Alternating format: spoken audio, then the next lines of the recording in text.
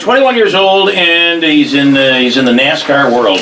Um, and he's in town. There's some things going on. You're going to be over at uh, Utica College for a meet and greet later on today. Uh, you're also a diabetic. We have a lot to get into. Uh, first, though, let's not screw around and let's get right into the uh, the U.S. Cellular 250, uh, and, and it happened in Iowa. You got out and you confronted uh, Ross Chastain, and you had your helmet on. So what the hell was going on there? What happened? Yeah, I mean, first of all, you know, looking back on it, um, you know, you're so you're so passionate about what you do. I mean, anyone, anyone in the anyone in this series and anyone racing at this level, uh, you know, you've, you've sacrificed a lot to get there, and so you're obviously very passionate about it. And um, you know, looking back on it, probably should have gotten out and calmed down a little bit before I went over there, but.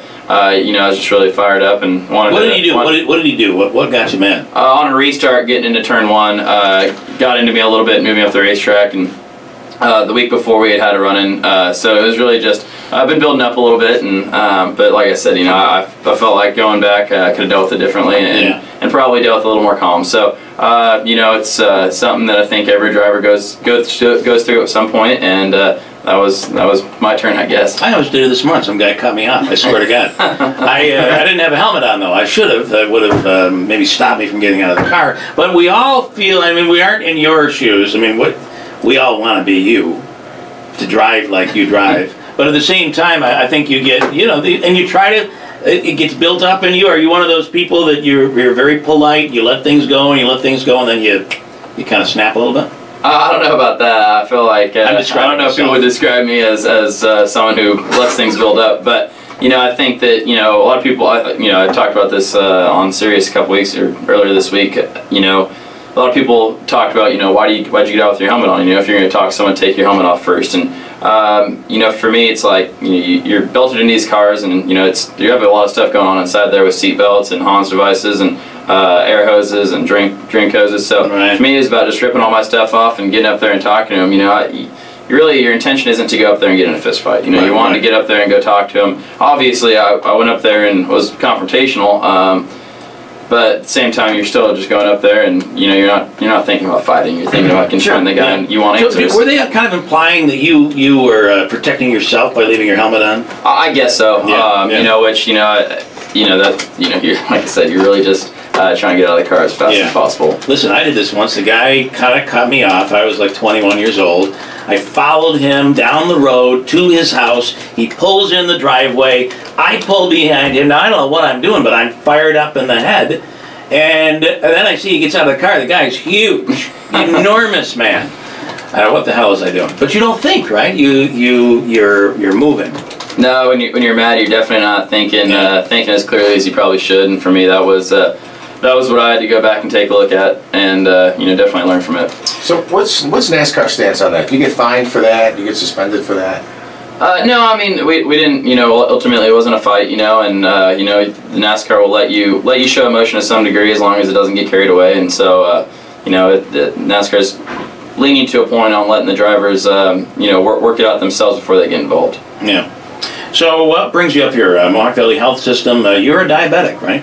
Yeah, I was diagnosed with type 1 diabetes uh, about four years ago, and uh, going to be having a uh, visit at yeah, Utica College later on this afternoon at 2, and then before that, uh, meeting with some folks with diabetes. I'm meeting with a group of kids, and then later on, a group of adults living with the disease. So, uh, pretty thankful for all the folks up here for Yeah. letting me come hang out, and then obviously to Lilly Diabetes and American Diabetes Association for, for helping me get up here and, and share my story. It's uh, it's been a really amazing journey, uh, and you know, a few years ago they they told me I wouldn't be driving race cars, so uh, because of diabetes. Because of diabetes. You know, my, my, my nephew, um, uh, since he's been a child, has, uh, has, has, he gives himself his own shots.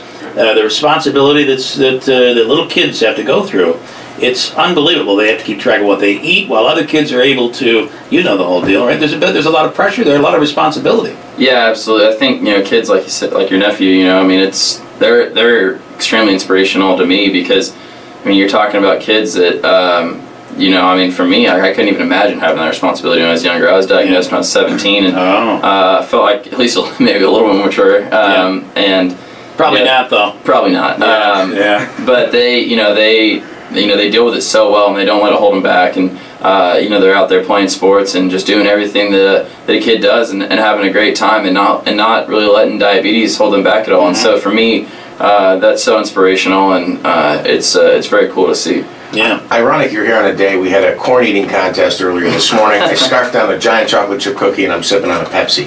Why is it that I'm a ve- able, able to get away with that? What's your story? How did you, why does this afflict you?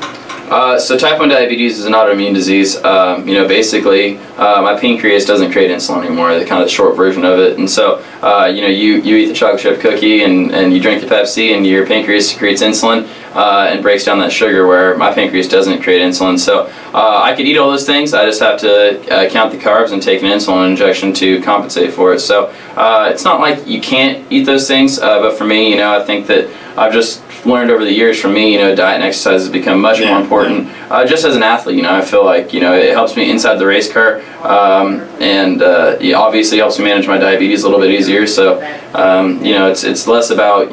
You know, it's not that you can't eat those things. It's just it Sure. makes my makes Yeah. my life a little easier if I Yeah. if I if I'm not eating those things every day. I definitely have. Uh, Sunday ordered a pizza and and uh, hung out with my, my friends and you know didn't didn't let diabetes kind of control my, my whole life there. Is it true that you have a glucose monitor in your car while you're driving? Yeah, so one of the kind of newer technologies in uh, in diabetes is called a continuous glucose monitor. Uh, mine's made by Dexcom, and basically what it is is it's um, it looks almost kind of like a cell phone, but it's got an LED screen on it, and I put that on my dash, and then there's a sensor in my stomach, and there's a little hair wire that's actually underneath my skin, and it uh, it sends a signal to the device on my dash, and it actually reads my blood So sugar. it's wireless. Yeah, it's all wireless. Unbelievable. Yeah, it's pretty crazy. I mean, Yeah. it's uh, you know, I mean, it allows me to monitor my blood sugar like I'm monitoring any of my other gauges inside Yeah. the race car without it, you know, without it kind of distracting me from what I'm doing. Right. Does that actually happen? Like during a pit stop, they'll actually give you, you know, something because they are monitoring that your blood sugar is low or too high. So having the having the opportunity to monitor it, you know, if my blood sugar was to go too high, uh, there is a guy trained on my pit crew to give me an insulin injection. There's a bullseye or target on my fire suit to indicate where to give me the injection. It's way more of a safety net than it is in something we have. We have, you know, we're planning on doing. You know, we don't say on lap 100, you know, we're going to plan on taking insulin in four tires. We just say, you know what, Ryan, you know, you're, you're monitoring this. Let us know. We're, we're ready. We're trained. Uh, but it's never had to happen before, thankfully, and uh, something that we don't plan on having to do. So you, uh, so you know, going back to my nephew's situation. So right from the very beginning, uh, he had uh, diabetes. You find out at age 17, almost makes it more difficult because you already established a, a way of life and a lifestyle, how you eat and how you, uh, you know, the things that you that you do in life. So what was it though that? What happened to you? How did you find out? Did you get ill? Uh, what happened when you were 17 and finally they diagnosed you with with with diabetes? Yeah, so there was definitely symptoms. You know, I wasn't feeling great. Um, you know, and that probably went on for a month or so. Um, weight loss was one of the biggest ones, uh, and then for me, the biggest one was the thirst. But my parents saw me, and I had been complaining about um, not feeling well. And I got home from a trip to North Carolina. I was actually in the process of moving from California to North Carolina, and uh, I'd been gone for uh, two to three weeks. When I get home, my parents are like, "I can't believe how much weight you lost," you know. And the whole time, I they knew I'd been not Yeah, feeling well, yeah. so uh, they're like, "Let's get you to the doctor." And took me to the doctor, told them my symptoms. You know, they, they checked my blood sugar and it was uh, well over 400 fasting, so I didn't eat anything that day.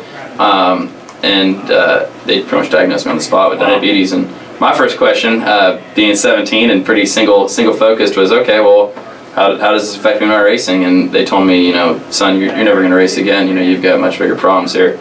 Uh, but for me, all I heard. you were going to be done racing. Yes. So for me, all I heard was how it was going to affect my racing. My mom was devastated, obviously, her son getting diagnosed with a, with a lifelong disease. But for me, it was um, I had other worries. So Yeah.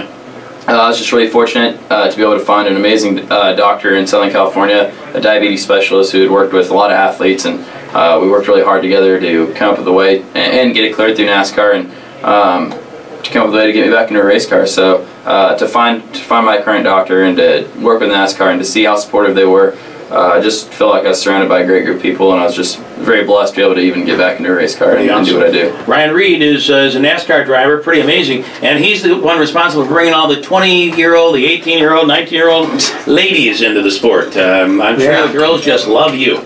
Oh, I hope so. Yeah. That's planned. Yeah, that's all of our plans. Doesn't always work out that way for all of us, though. No, Uh, it doesn't always. Yeah, uh, it is what it is. yeah. Uh, all right, Ryan, good stuff. So today, um, again, uh, your your schedule today, two o'clock. You'll be over in the library concourse at Utica College, over on Burrstone Road, and a meet and greet. They get to come in, take pictures, all that stuff. Absolutely. Yeah. Please come out, um, say hi, and take a picture, get an autograph. Uh, ask me any questions you want, and, uh, and come hang out. And then you're going to meet with the kids.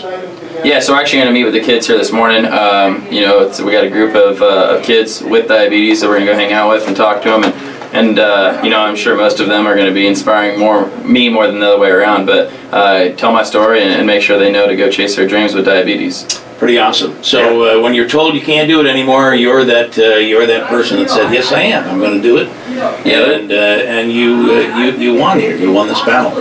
I don't know if you know, I don't, diabetes is something you're, you know, I've, you know, there's no cure right now, which Yeah. hopefully that'll change. But for right now, uh, it's a lifelong disease, and so I mean, I don't know if you ever win, but you can definitely not let it hold you back, and that's that's the main goal. Awesome. Uh, Ryan Reed, really a great inspiration. And uh, keep doing what you're doing, and, and keep that helmet on. Don't don't worry about what they say. All Thank you. right, uh, 8:31. We'll take a quick break. Hold on tight. Coming right back at WIBX.